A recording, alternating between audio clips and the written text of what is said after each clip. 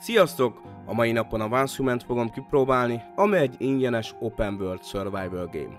Július 9-én jelent meg, és ingyen játszható a Steam-en. Nagyon sokat beszéltek erről a játékról, így hát kedvet kaptam hozzá én is.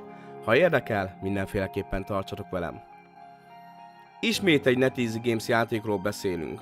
Elég sok és ilyen hasonló játéka van a cégnek mobilra is, sőt ez is érkezik majd. Sajnos azt is tudni kell a cégről, hogy hiába annyira ismert, nem sok befutó játéka van.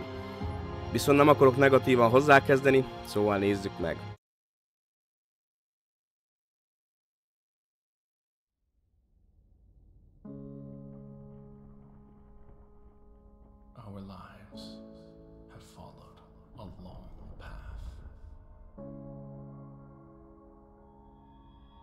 Eventually, all roads reach their end.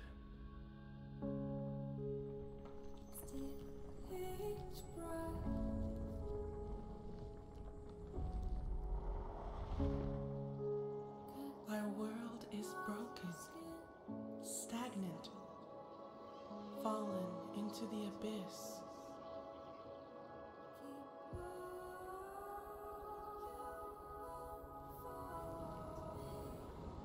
But everything is born from darkness, even the universe itself.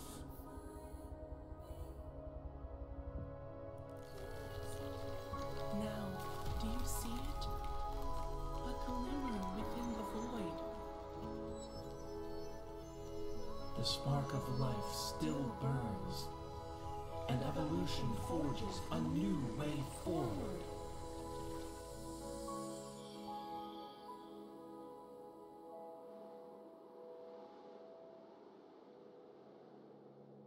Once your faith overcomes despair, once you move beyond death, once life returns to this world,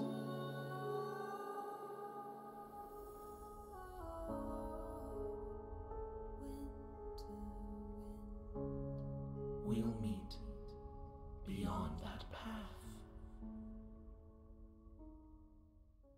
Karaktertervezés szempontjából szerencsére elég sok variáció van.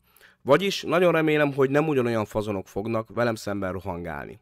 Szinte minden testre tudunk szabni, ha szállunk rá némi időt. Bátran csináljatok egyedi karaktert, nem baj, hogyha több időt vesz igénybe. Kezdésnek egy kis oktató, bevezető rész elé nézünk, ami számomra elég unalmas volt. Tudni kell, hogy ez egy posztapokaliptikus játék, ahol nem zombik vagy hasonlókkal kell szembenéznünk, hanem a sötétséggel, az úgynevezett deviánsokkal. Eléggé viccesen néznek ki szerintem, például a feje helyén bőrön van Csórinak, vagy például a legelső bossnál egy ilyen parabola antennás feje volt. Nem tudom a fejlesztők fejéből ez hogyan pattant ki, de nálam ez mínuszpontot ért.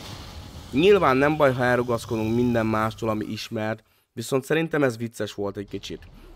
Cserébe kárpótol a zene már az elején is.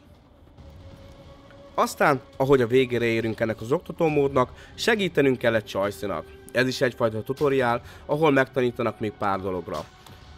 Ez már más játékokból ismerős lehet. Utána viszont szabadon kószálhatunk a nyílt világban, ami elsőre számomra unalmas volt. Nem sok szörnyel találkoztam, nem is éreztem azt, hogy él a világ. Nyilván kihalás van meg minden, de pár állaton kívül nem sok mindenbe ütköztem az elején. Nagyon remélem ez később változni fog majd. Ami nekem a kedvencem, és aki ismer vagy régebb óta követ, az tudja, hogy én imádom a gyűjtögetést. És körülbelül mindent lehet gyűjteni, és abból kraftolni bázist. Sőt, olyan bázist, hogy az eszedet eldobod. Kamionokra tudsz építkezni, bárhová. És igazából nagyon sok mindent lehet építeni. Tudod a karakteret fejleszteni, és tudsz PvE vagy PvP szerveren játszani. Sőt, ha PvE szerverre csatlakozol, ott is van a kiventek, ahol materiálokért cserébe tudsz gyilkolászni. Nem is kell egyedül játszanod, hiszen tudsz a barátaiddal is. Nyilván ez majd rengeteget dob a. Változnak a napszakok is, ez is egy pluszpontot ér. És azt se felejtsük el, hogy figyelnünk kell a karakterünkre, hogy ne legyen éhes vagy szomjas. A későbbiekben pedig csinálhatunk magunknak saját járműveket is. Sőt, még a deviánsokat is be tudjuk gyűjteni majd, Egyelőre olyan nagyon sok infóm erről nincsen, tudtommal ezek a kis lények majd segíteni fognak nekünk nyersanyagot gyűjteni, vagy lesznek olyanok, akik velünk együtt harcolnak. Azt még elfelejtettem elmondani, hogy a deviánsokat mondtam, hogy be lehet fogni, viszont ez nem minden esetben sikerül. Van, mikor többször kell próbálkozni, vagy van, mikor automatikusan elmenekül. Szerintem ez szinthez, vagy valami képességhez lesz majd kötve a későbbiek folyamán. Hogyha ezekről a deviánsokról ti többet tudtok, akkor mindenféleképpen írjátok le a véleményeteket kommentben, illetve segítsünk egymásnak, segítsetek nekem, hiszen valószínűleg én is fogok ezen a játékon játszani. Láttam olyan videókat, és tapasztaltam már az elején, amikor mondtam, hogy parabola antenna van a fején a szörnynek, hogy kicsit túl vannak méretezve szerintem, mégis könnyűszerrel meg lehet őket ölni.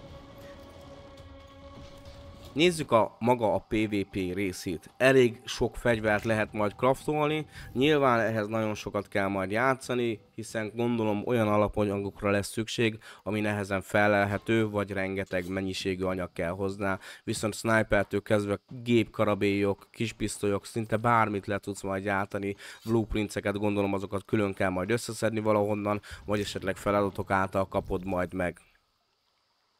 Nos, srácok, egyelőre ennyit tudok elmondani magáról a játékról, ha ti esetleg hozzátennétek, azt mindenféleképpen írjátok le kommentbe. És nagyon örülnék, hogyha nyomjátok egy lájkot, nyilván erre csak akkor van szükség, hogyha tetszett nektek az a videó. Tartsatok velem legközelebb is, köszönöm szépen, hogy ilyen sok kihagyás után ismét velem tartottatok, vigyázzatok magatokra, jók legyetek, sziasztok!